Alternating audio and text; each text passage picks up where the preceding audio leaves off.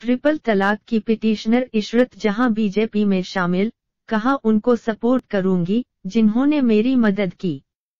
Triple तलाक पर supreme court में पिटीशन दायर करने वाली पाँच महिलाओं में से एक इशरत जहाँ ने बीजेपी ज्वाइन कर ली है।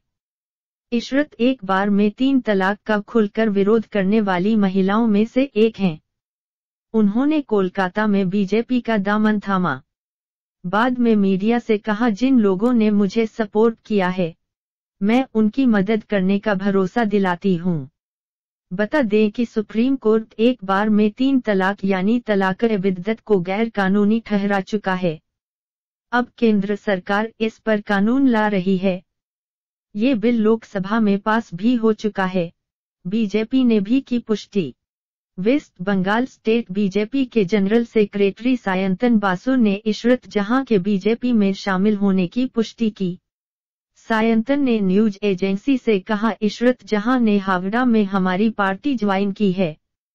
बीजेपी की स्टेट यूनिट इशरत को कुछ दिनों में सम्मानित करेगी। इशरत को उनके पति ने 2014 में फ़ोन पर दुबई से तलाक दिया था। लंबी जंग लड़ी है इशरत ने। इशरत जहाँ ने एक बार में तीन तलाक पर रोक के लिए लंबी जंग लड़ी। वो इस मामले को लेकर सुप्रीम कोर्ट जाने वाली महिलाओं में से एक हैं। इशरत ने शनिवार को कोलकाता में बीजेपी हेडक्वार्टर जाकर पार्टी ज्वाइन की।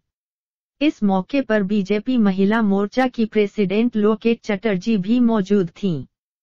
इशरत ने कहा, ट्रिपल तलाक के मामले में पार्टी को सपोर्ट करती रहूँगी। बीजेपी महिला मोर्चा की प्रेसिडेंट लोकेट चटर्जी ने कहा, इशरत इस वक्त फाइनेंशियल क्राइसिस से गुजर रही हैं। हम केंद्र सरकार से अपील करेंगे कि वो उनकी मदद करे लोकेट ने आरोप लगाया कि वेस्ट बंगाल की ममता बनर्जी सरकार ने इशरत की कोई मदद नहीं की, जबकि उन्होंने एक बहुत बड़ा आंदोलन चलाया खुद को महफूज नहीं मानती इशरत एक अंग्रेज़ी अखबार से बातचीत में इशरत ने कहा कि ट्रिपल तलाक पर सुप्रीम कोर्ट के फैसले के बाद भी वो खुद को महफूज महसूस नहीं करती। उन्होंने कहा कि बकरीद भी उन्होंने अकेले ही मनाई।